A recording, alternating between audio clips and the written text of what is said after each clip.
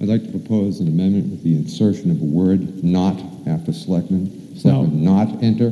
No, I'm not going to entertain that. We've got some court cases on that topic, so I'm not going to entertain the not amendment. Then I'll be speaking on the article itself. Okay, as amended, go ahead. As amended. I'm opposed to this article. Now, I understand that, uh, mean, please correct me, I have a question. The selectmen presently have the authority to enter into this negotiation, is that not correct? Is there anyone on the Board of Selectmen who can answer that question?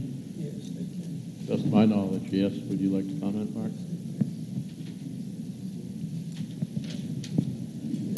Uh, The uh, state of New Hampshire DOT has been, as uh, Vic Lassard mentioned, trying to get the town of Hampton to take over obligations that it assumed back in 1933.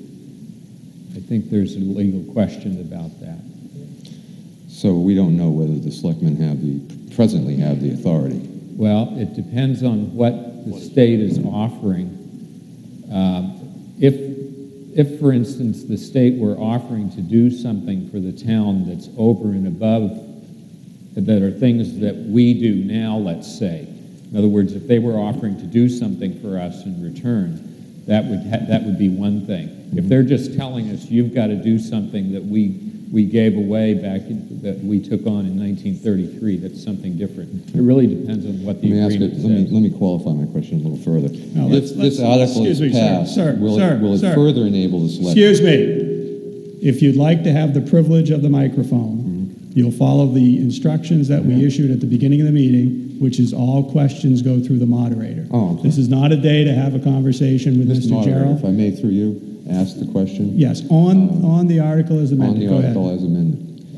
Um, If this article passes, will it further empower the selectmen in a way that they're not presently empowered to enter into such an agreement?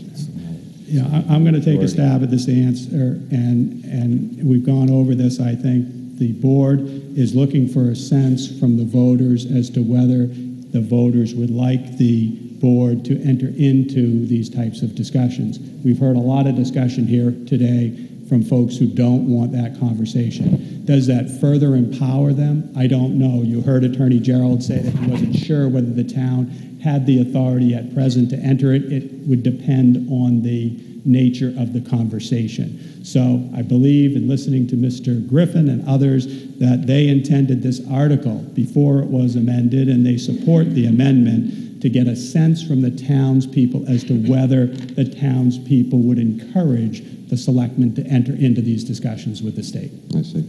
So, uh, since we've got clarity on that, I appreciate that, Mr. Moderator.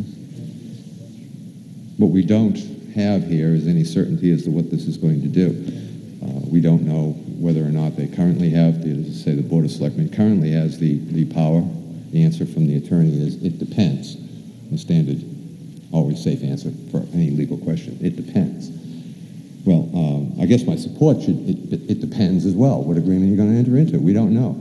I don't think I want to enter into a blank check, because then, of course, it would depend on whether I had the money to cover it, and that's basically what we're dealing with here on that level. On the secondary level, here, we're talking about potentiality of uh, local funding, that is to say, us, paying for maintaining a state asset, we really don't have any control over. And that just seems to me to be foolish. I urge the entire planet to vote no on this.